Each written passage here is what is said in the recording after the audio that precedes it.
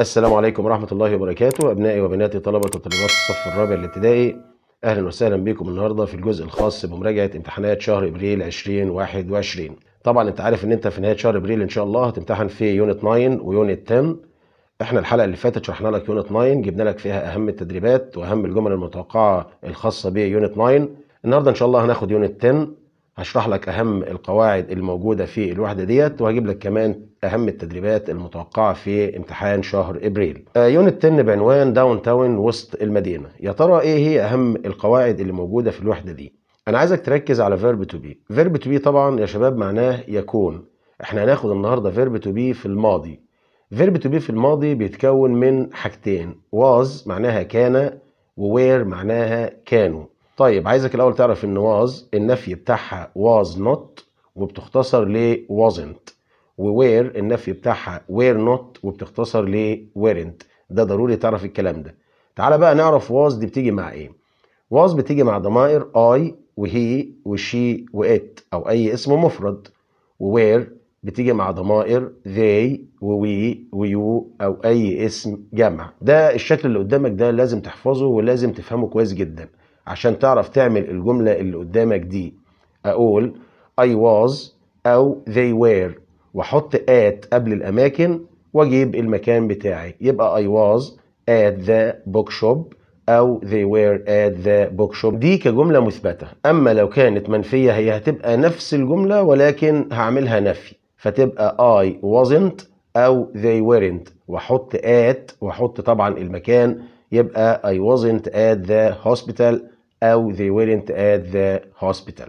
إيه كمان اللي أنا عايزك تركز عليه؟ عايزك تركز على استخدام whose اللي هي أداة استفهام معناها ملك من لما أجي أسأل عن الشيء ده بتاع مين. إحنا خدنا الكلام ده في الترم الأول بس إحنا طبعا لازم نراجع عليه بما إن كان فيه تنويه عنه في الوحدة.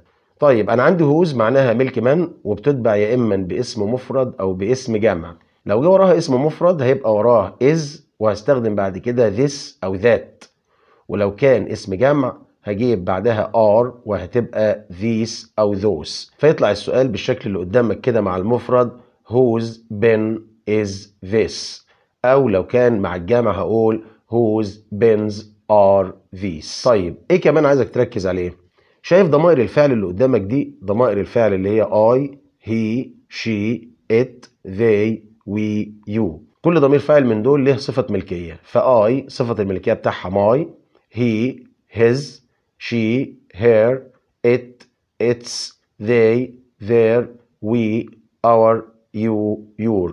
دول اسمهم صفات ملكية. وصفات الملكية لازم تتبع بناون لازم تتبع باسم. في كمان مجموعة من الضمائر اسمها ضمائر الملكية. لكل ضمير فاعل برضو ضمير ملكية. فآي تبقى mine he his she hers it ملهاش. They theirs we ours you yours. دي طبعا ضمائر الملكية. إيه الفرق بقى قدامك كده على الشاشة بين صفات الملكية وضمائر الملكية؟ صفات الملكية لازم يجي وراها اسم لكن ضمائر الملكية ما بيجيش وراها الاسم وممكن كمان تتبع بفعل. تعال شوف بعض الأمثلة كده عليها. لما أجي أسألك مثلا وأقول لك whose pen is this هتيجي ترد تقول this is my pen. كده إن استخدمت هنا صفة ملكية my. طب لو أنا عايز أرد بقى بضمير ملكية هقول إيه؟ هقول this is mine. تمام؟ طب لو كان السؤال عن الجمع اللي هو whose pens are these هرد أقول these are my pens. كده استخدمت صفة ملكية فجبت وراها الاسم أو these are mine. كده استخدمت ضمير الملكية.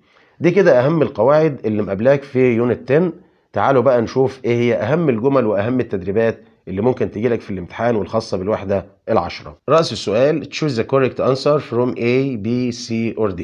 Number one نقط car is this. الإجابة it's his. اختيارات who how what whose. كده طبعا الإجابة الصحيحة هنا هتكون whose. ليه؟ ده سؤال الملكية اللي إحنا استخدمنا فيه أداة الاستفهام whose اللي هي معناها ملك من. number 2 This camera is نقط اختيارات my mine your her. أنا هنا عايز ضمير ملكية، ليه؟ لأن مفيش اسم بعد كده، الاسم قبليها، فأنا كده هختار هنا mine. number 3 we drink tea. These are نقط cups. اختيارات hers mine ours our. طبعا كده بما إن أنا عندي هنا اسم أهوت فأنا كده عايز قبليه صفة ملكية.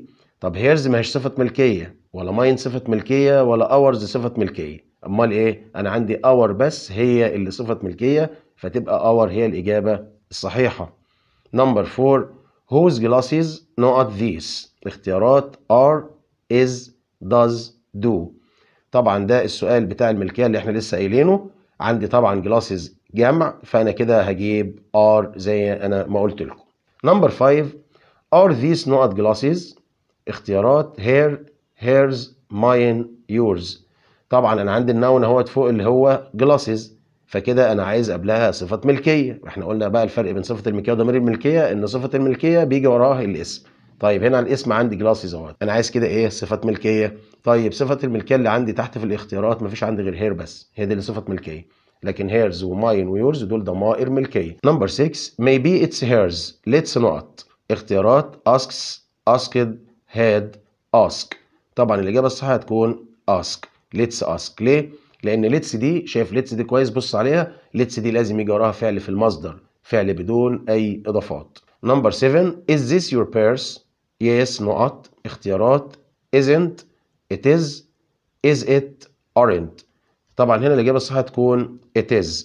Yes it is. ليه؟ السؤال طبعا فوق is this فهيتعكس تبقى it is. ولما أجي أرد على السؤال اللي اللي فيه this ممكن أكرر this في الإجابة وممكن أحط مكانها it. نمبر 8 whose not are these اختيارات book purse keys puppy.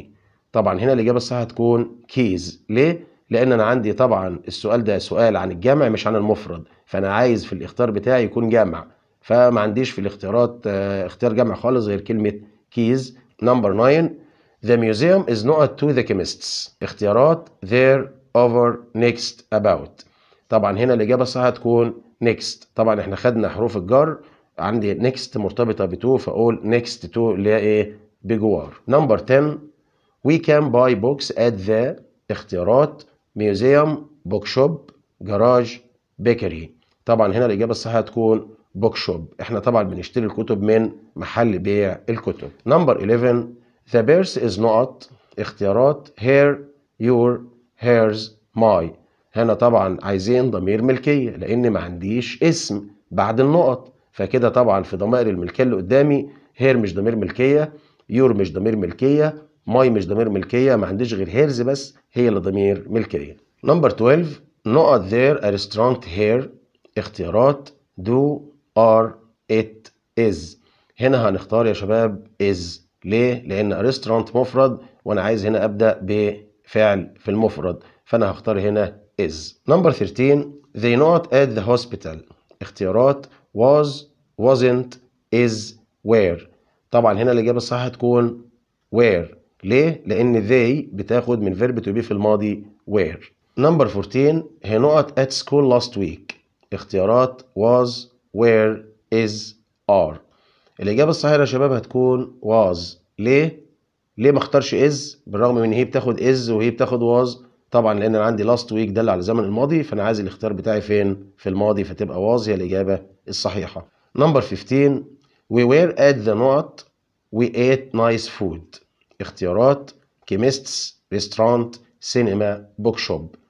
طبعا هنا الإجابة الصح هتكون restaurant. Number 16 she was not the department store. اختيارات of on at about. طبعا أنا قلت لكم خدوا بالكم إن إحنا هنجيب حرف الجر at قبل الأماكن في الجملة بتاعتنا فيبقى الإجابة الصح هنا at. Number 17 we not some pictures. اختيارات draw drain drum drink. طبعا هنا الإجابة الصح هتكون draw. ليه؟ طبعا هو بيقول إحنا إيه بعض الصور؟ يبقى إحنا طبعا إيه رسمنا اللي هي we draw some pictures. number 18 don't know the road اختيارات drive ask dress cross. طبعا الإجابة الصح هتكون cross. Don't cross the road يعني لا تعبر الطريق. number 19 let's have a نقط اختيارات crane crayon creek cracker. طبعا الإجابة الصح هتكون cracker. طبعا let's have دي يعني يلا نتناول أو دعنا نتناول. نتناول يعني فيها أكل. مش هينفع أقول crane ولا crayon ولا creek هينفع طبعا أقول cracker اللي هو البسكويت. number 20 نقط are some crabs in the sea. اختيارات. This that there theirs. طبعا هنا الإجابة الصح هتكون there. There are اللي هي يوجد. طبعا uh, this و that طبعا دول مفرد فعايزين وراهم فعل مفرد. و theirs ما أعرفش أبدأ بيها طبعا لأن theirs ديت ضمير ملكية فما ينفعش أجيبها هنا في الجملة. نمبر 21 whose birth is not اختيارات. Those these this they. طبعا هنا الإجابة الصح هتكون this. ليه؟ لأن أنا عندي is فعل مفرد. فأنا عايز طبعا لو أنتوا فاكرين السؤال أنا قلت بعد is أجيب this أو that. number 22 this bag is نقط اختيارات your yours you her. المفروض كده خلاص الكل اختار هنا yours. ليه؟ لأن طبعا عايز هنا ضمير ملكية لأن ما عنديش اسم بعد النقط. number 23 she نقط at the museum. اختيارات was weren't were are. She بقى ما بتاخدش ولا اختيار من الاختيارات الأربعة اللي قدامك دولت غير was فقط. فتبقى was هي الإجابة الصحيحة. number 24 thank you so نقط اختيارات some match many much. طبعا لما كنا بنقول لك شكرا جزيلا أو شكرا كثيرا فأقول thank you so much اللي هي number D وبكده يا شباب يكون فاضل قدامنا الأربع جمل دولت. عايزكم تحلوهم وتسيبوا لي الحل بتاعكم في تعليق تحت الفيديو وأنا هرد عليكم إن شاء الله.